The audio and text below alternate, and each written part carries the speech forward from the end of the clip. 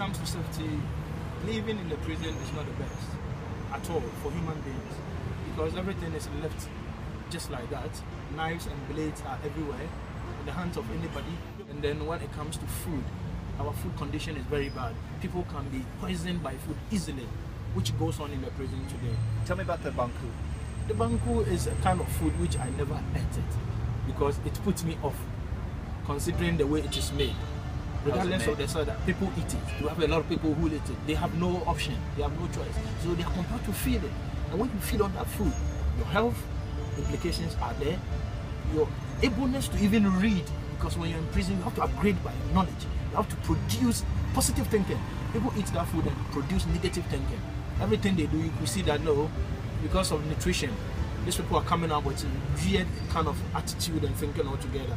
Do they do they prepare the banku with their hands? They do it with the hands and the legs. And the kitchen condition is very poor. Okay. The kitchen condition cannot even hold thousand people. But then the population over there is 3,500.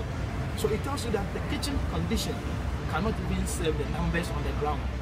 It is prison. So we are made to believe that maybe they are treating us not, in order not to go and come back. But if it is a proper human rights abuse, then the prison service have abused a lot of people's rights every day.